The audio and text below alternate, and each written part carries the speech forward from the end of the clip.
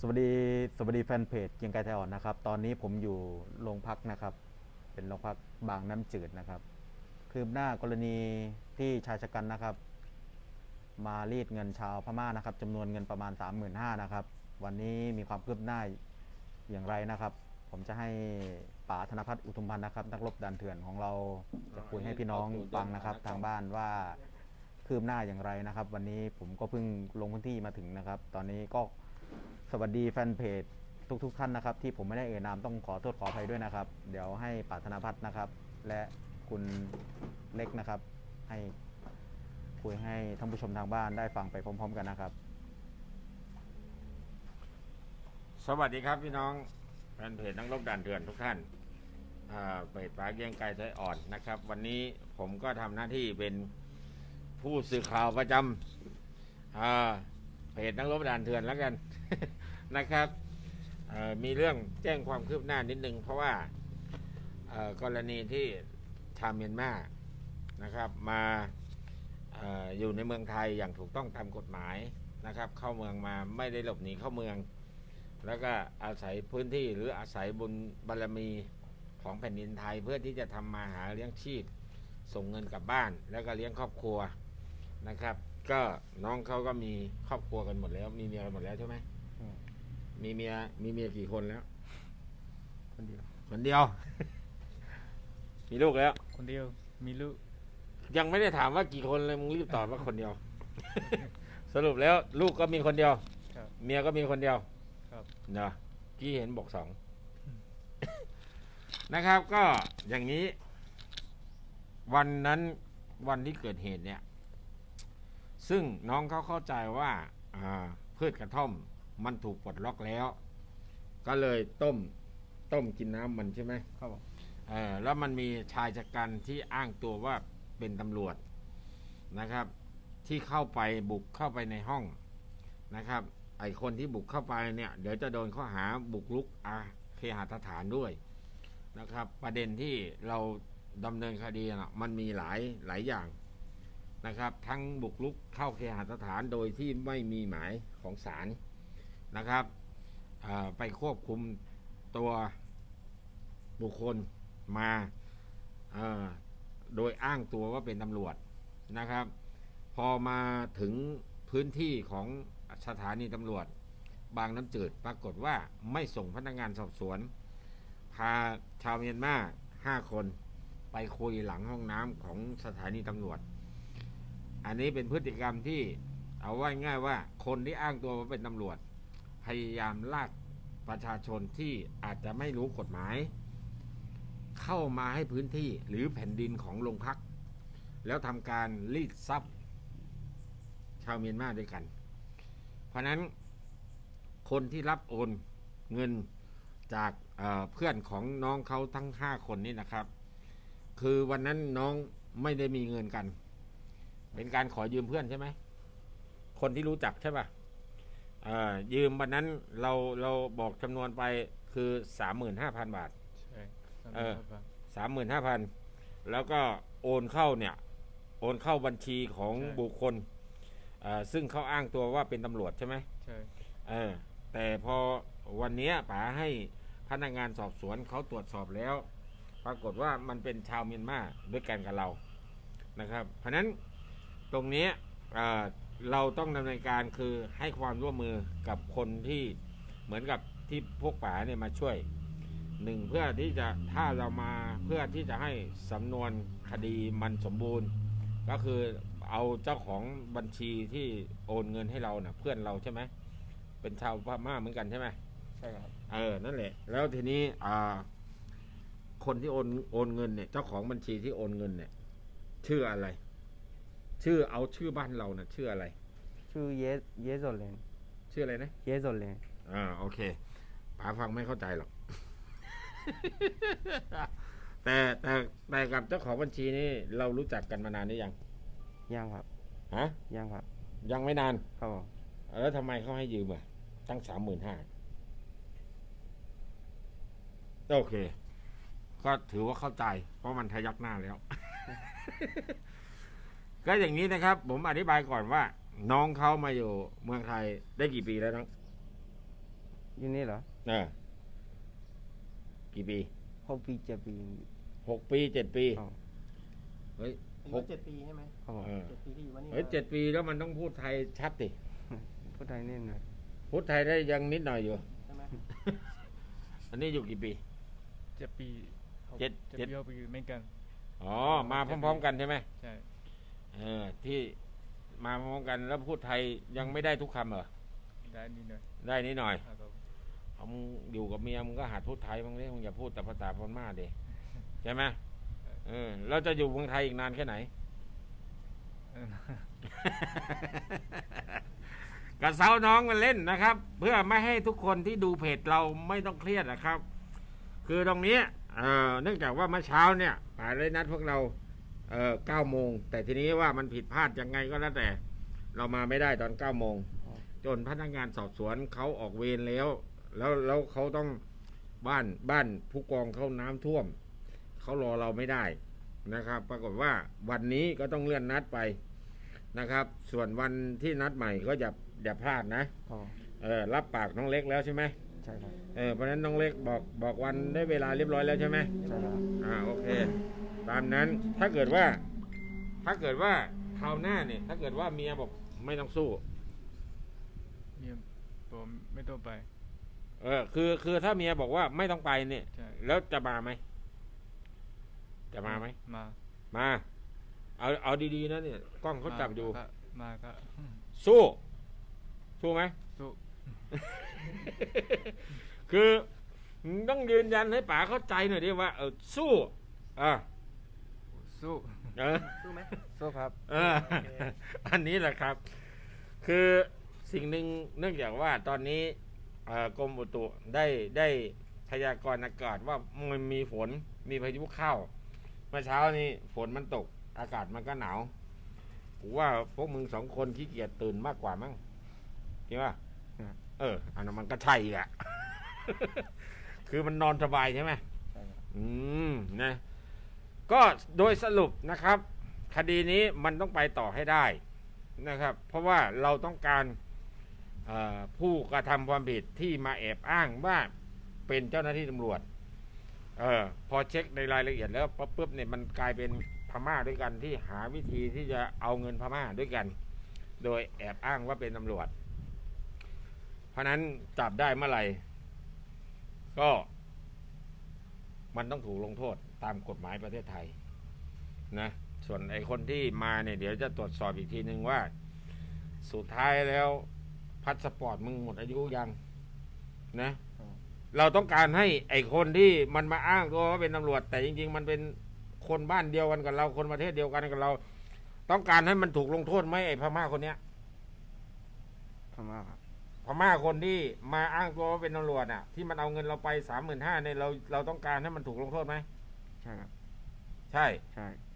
ใช่กับต้องการมันคำเดียวกันไหมสองอ่าสองครั้งครับขออนุญาตสอบถามต่อเนาะอ้าว ผมก็ขออนุญาตสอบถามต่อนะครับในกรอืณีมเคสของน้องเขาตั้งแต่เรามาแจ้งความครับ ดำเนินคดีกับเจ้าหน้าที่แล้วอืม มีเกิดเกิดเหตุการณ์อะไรบ้าง กับอ่าที่พักอาศัย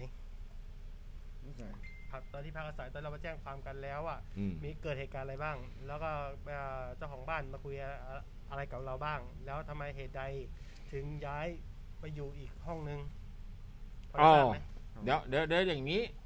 เอ่อน้องเล็กอย่างนี้แล้วกันนะครับเออคือบางบางอย่าง น้องเขาพูดไม่ได้ ครับผมเพราะว่ามันเกี่ยวกับเอ่ออำนาจที่อยู่ เราเรียกว่าอำนาจส่วนท้องถิ่นเขา ครับผม เอ่อทุกอย่างเราให้การไว้กับตำรวจแล้วอ๋อส่วนน้องเขาอาจจะถูกขู่ถูกอะไรบ้าง อาจจะถูกข่มขู่บ้าง อาจจะมีอ่าข้าราชการบางส่วนที่ไปหาเราที่ห้องใช่ไหมใช่ไหมเอ่ออันนั้นก็เอาว่าถ้าการใช้อำนาจที่มันไม่ไม่ชอบด้วยกฎหมายครับคนที่มาข่มขู่น้องเขาก็มีสิทธิ์เหมือนกันครับนะครับ เพราะฉะนั้นมันไม่มีการละเว้นกันอยู่แล้วครับได้นะครับ เพราะว่าคดีพวกเนี้ย คือมันทำเสียชื่อข้าราชการประเทศไทยหมดถูกต้องครับเออเพราะฉะนั้นการที่คนทุกคนที่อยู่ในผืนแผ่นดินไทย มันก็ต้องอยู่ภายใต้กฎหมายประเทศไทย มันจะใครจะขู่ใครไม่ได้หรอก ครับขู่แล้วมันก็คือขู่ได้ แต่มันทำจริงไม่ได้ครับนะครับ เอ่ออยากให้สิ่งที่ป๋าเอ่อได้ได้พูดมานะครับอยากให้สะท้อนให้กับเอ่อชาวเมียนมาทุกคนนะครับ ในการเคสแบบนี้ที่ถูก กับเจ้าที่นะฮะถูกรังแกได้คนเมียนมาถูกรังแกกับเจ้าที่ที่มารีดไถกับคนชาวเมียนมานะครับ ขอให้ท่านสู้นะฮะแล้วอีกอย่างหนึ่งการที่ว่าท่านสู้เพื่อคนชาวเมียนมาด้วยกันเองอืมอยากให้เป็นตัวอย่างให้ว่าเพจนักรบดันเถื่อนเราพร้อมสู้กับคุณ แต่ขอร้องอย่าทิ้งพวกผม เพราะผมสู้ด้วยใจนะครับ แต่เรื่องราวมันจะมีเหตุการณ์แบบนี้บ้างก็เป็นเรื่องธรรมดาปกตินะป่าเนาะเหมือนที่ถูกต้เจ้าองที่จะมามาแบบมา มาไก่กล่อมมาอะไรเงี้ยมันเป็นเรื่องปกตินะป่าเนาะครับผมครับ เพราะฉะนั้นสิ่งที่พวกเราในเพจนักรบดันเถื่อนมาช่วย มองดูรอบๆนี้มีใครขอค่าใช้จ่ายจากน้องไหมมีไหมนี่ครับ ใครอะเอาอย่าบอกว่ามีไม่เดี๋ยวใช่ป้อมป้อมสะดุ้งแล้วน่ะพอความหชี้มายไปทางว่าป้อมพวกอย่างพวกพี่มาเนี่ย เสียเงินไหมได้เสียเงินกับเรามั้งพวกพี่ไหม เราเดินทางมาเราต้องเราต้องให้ตังค์พวกพี่ไหมไม่ต้องให้ใช่ไหมไม่ต้องให้ครับ ใช่ป่ะแล้วพวกพวกพี่เองมาด้วยใจใช่ไหมแล้วก็เป็นความหมายคือคือประมาณนี้เออว่าต้องเสียอะไรไหมแต่พวกพี่เองอะอย่างป๋าธนพัฒน์ที่เดินทางมาจากกรุงเทพมหานครหรือพี่ป้อมประนอม หรือพี่เอที่เดินทางมา มีใครขอตังค์น้องไหมไม่มีเน้องไม่มีครับประมาณนี้ เพราะว่าจะสะท้อนให้กันว่าเราเองมาด้วยใจสู้อืมด้วยใจครับผมแล้วไหนที่มันไม่ถูกต้องได้ป๋าเสียก็จะตังค์ช่วยครับประมาณนั้นนะครับ ในเพจนรกนันเถื่อนหป้รืออมปากเก่งไกรประนอมเองได้ขอตังค์จะไหมช่วยเราหรือป้อมประนอมเองจะช่วย ทั้งป๋าธนพัฒน์นี่ๆคนนี้ก็ได้จะขอมาช่วยตัเรางค์ไหมไม่ต้องกลัวในสิ่งนี้นะครับอ่าป๋าต่อเลยป๋าเอ่อก็ไม่มีอะไรนะครับ อันนี้เราแจ้งให้ทราบว่า เราช่วยเฉพาะคนที่ถูกรังแกถูกต้องนะคครัรับบส่วนคนที่เอ่อที่ที่คือเสมือนว่าถ้าตัวเองทำผิด อยากเอาคืนเจ้าหน้าที่ อันนั้นเราไม่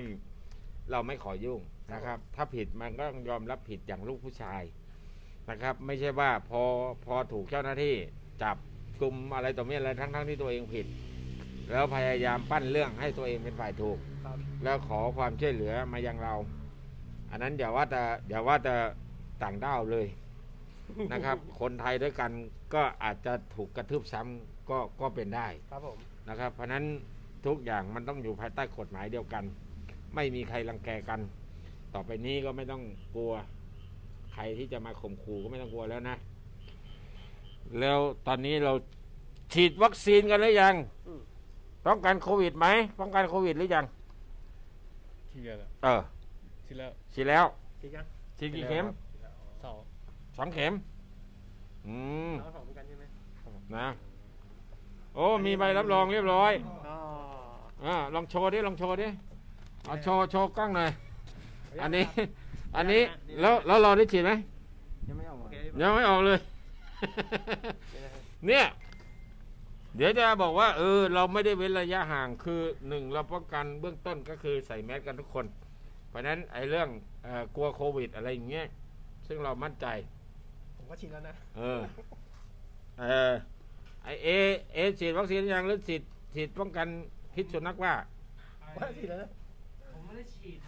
รับแต่ผมไปฉีด เอาโอเค เดี๋ยวเรามีนัดหมายกับพี่สมุทรอยู่อยู่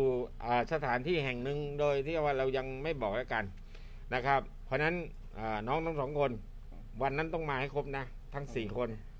สี่คนรวมทั้งเจ้าของบัญชีด้วยนะครับ เพราะนั้นขอความร่วมมือนิดนึงเพื่อที่จะหมายถึงว่าสำนวนมันจะได้ปิดลงได้ แล้วก็จะส่งอายการฟ้องให้นะครับ ส่วนคนถ้าได้ตัวมาเเรื่องเงินที่เราเสียไป เดี๋ยวจะดำเนินการเเพื่อเรียกร้องคืนให้นะครับ เราจะได้เอาไปใช้หนี้เขา เพราะรู้แล้วว่าไอ้สิ่งที่น้องเอาเงินเพื่อนมาแล้วก็มาจ่ายให้เขาเนี่ย มันติดหนี้ติดสินนะครับ ตอนนี้เองก็แทบไม่ไม่เหลือเงินที่จะส่งไปทางบ้านแล้วมั้งอยู่ที่บ้านอยู่ที่เมียนมามีกี่คนพี่น้องเรามีกี่คน มีสังคมครับ มีสองคนครับผมอ่าสองคนก็คือ เราเราเป็นคนที่เท่าไหร่เป็นพี่หรือเป็นน้อง เป็นน้องครับ เป็นน้องครับคนแรกเป็นพี่เป็นผู้หญิงหรือผู้ชาย ผู้หญิงผู้หญิงครับผมแต่งงานยังยังครับยัง แล้วแล้วทีนี้เราเป็นน้องเหรอครับผมแล้วทำไมมึงเอาเมียก่อนพี่มึงอะรีบไปไหนอืมโอเค